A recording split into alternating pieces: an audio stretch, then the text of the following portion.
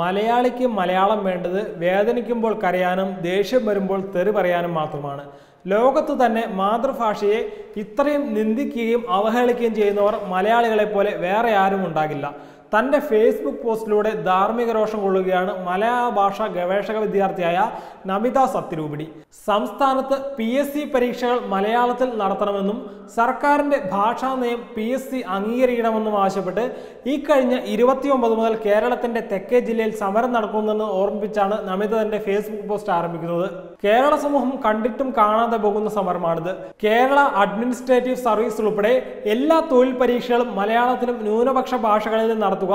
സർക്കാരിന്റെ ഭാഷാ നയം പി എസ് സി അംഗീകരിക്കുക തുടങ്ങിയ ആവശ്യം ഉന്നയിച്ച് ഐക്യ മലയാള പ്രസ്ഥാനത്തിന്റെ നേതൃത്വത്തിൽ സമരം തുടങ്ങിയിട്ട് ഒരാഴ്ച കഴിഞ്ഞു എന്ന് നമിത പറയുന്നു. കാലടി സംസ്കൃത സർവകലാശാല ഗവേഷകയായ രൂപിമ മലയാള ഐക്യവേദി സംസ്ഥാന സെക്രട്ടറി എൻ പി പ്രിയേഷ് എന്നിവരാണ് നിരാഹാര സമരം നടത്തുന്നത്. രൂപിമയുടെ ആരോഗ്യനില വഷളായതിനെ തുടർന്ന് അറസ്റ്റ് ചെയ്തു നീക്കി. പകരം Kollam Mulankadam U I T രണ്ടാം വർഷ ബി ബി എ വിദ്യാർത്ഥിനി ശ്രേയ എസ് ആണ് നിരാഹാരം നടത്തുന്നത് എന്നും നമിത ഫേസ്ബുക്ക് പോസ്റ്റിലൂടെ വിവരിക്കുന്നു.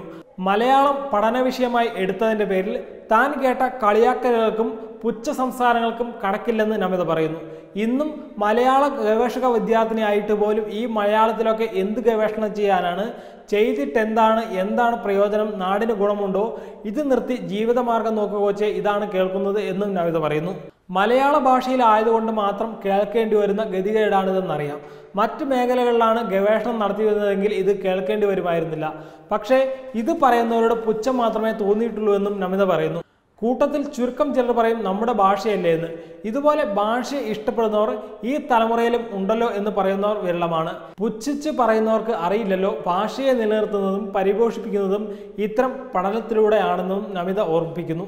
ഇന്നും മലയാളിക്ക് വേദനിക്കുമ്പോൾ കരയാനും ദേഷ്യം വരുമ്പോൾ തെറി വിളിക്കാനും മാത്രം മാതൃഭാഷ മതിയെന്നും നമിത ആത്മരോഷത്തോട് പറയുന്നു. ലോകത്ത് തന്നെ മാതൃഭാഷയെ നിന്ദിക്കുകയും അവഹേളിക്കുകയും ചെയ്യുന്നവർ മലയാളികളെ പോലെ വേറെ ആരും ഉണ്ടാകില്ല മലയാളം സംസാരിച്ചു പോയാൽ ശിക്ഷ വിധിക്കുന്ന സ്കൂളുകൾ ഇന്നും ഇവിടെ ഉണ്ട് എന്നതാണ് കഷ്ടമെന്നും ഈ മലയാളം ഗവേഷക വിദ്യാർത്ഥി പറയുന്നു. കുട്ടികളുടെ നിലവാരം പോകുമത്രേ. മലയാളം സംസാരിച്ചാൽ മലയാളം പഠിച്ചാൽ നിലവാരമില്ലാതെ പോകുമെങ്കിൽ തലമുറകളായി നിലവാരമില്ലാത്തവർ തന്നെയാണ് നമ്മളൊക്കെ തന്നെയെന്ന് നമിത പറയുന്നു. ഈ സമരത്തിലൂടെ ഒരിക്കലും ഇംഗ്ലീഷ് ഭാഷയെ എതിർക്കുകയല്ല വേണ്ട എന്ന് പറയുകയുമല്ല. ഈ മലയാളം പഠിച്ചിട്ട് എന്തിനാ എനിക്ക് രണ്ടാം ഭാഷ ഹിന്ദി മതി എന്ന് പറയുന്ന കുട്ടികളാണ് വളർന്നു വരുന്നത്. ഇവരിലൂടെ അടുത്ത തലമുറ എത്തുമ്പോൾ ഒരു ഭാഷയും സംസ്കാരവും ഓർമ്മയായിട്ടുണ്ടാകും. അതാണ് സംഭവിക്കാൻ പോകുന്നത് എന്ന് നമിത പറയുന്നു. എന്തിനാണ് ഈ സമരം? വല്ല നാട്ടിലും ചെന്നപ്പെടുമ്പോൾ അറിയാം ഈ മാതൃഭാഷ ഭ്രാന്തിന്റെ ഫലം. തമിഴ്നാട്ടിൽ ചെന്നാൽ വല്ല ബോർഡും വായിക്കാൻ പറ്റുമോ? അവർക്കും ഭ്രാന്താണ്. ഹിന്ദിയെ പ്രോത്സാഹിപ്പിക്കാനാണ് കേൾക്കുന്നവർ പറയുന്നതും ഇവർ പറയുന്നു. അതാണ് പറഞ്ഞത് നമ്മുടെ നാട്ടിലെ ഇതൊക്കെ പറയൂ. ലോകത്ത് മറ്റൊരിടത്തും സ്വന്തം ഭാഷയെ ഇത്രയും താഴ്ത്തിക്കെട്ടാൻ ആരും ശ്രമിക്കുന്നില്ലെന്നും നമിത രോഷത്തോട് പറയുന്നു. മീഡിയയിൽ ഒരു പാലായും രണ്ടില ചർച്ചകളുമാണ് കൊഴുക്കുന്നത് അവരാണ് ഇത് ഏറ്റെടുക്കേണ്ടത്. അവരിന്ന് ഏറ്റെടുക്കുന്നുമില്ലെന്നും നമിത പറയുന്നു. പത്രത്തിൽ അവസാന പേജിൽ ആരും കാണാത്ത ഒരു ഭാഗത്ത് ഉണ്ടാകും ഒരു ചെറിയ വാർത്ത. ഭാഷ അവരുടെ അന്നമാണ്. എന്നിട്ട് കൂടിയാണ് ഇത് ഭാഷാ സ്നേഹികൾ ഏറ്റെടുത്തേ മതിയാകൂ. നമ്മുടെ നാടിനു വേണ്ടി നമ്മുടെ ഭാഷയ്ക്ക് വേണ്ടി മലയാളം എന്നൊരു ഭാഷ ഉണ്ടായിരുന്നു എന്ന് വരും തലമുറ പറയാതിരിക്കാൻ വേണ്ടി ഏറ്റെടുത്തേ മതിയാകൂ. ഐക്യദാർഢ്യം എന്ന് പറഞ്ഞാണ് നമിത സത്യരൂപിണി തന്റെ ഫേസ്ബുക്ക് പോസ്റ്റ് അവസാനിപ്പിക്കുന്നത്. Web desk Tatwamayi news.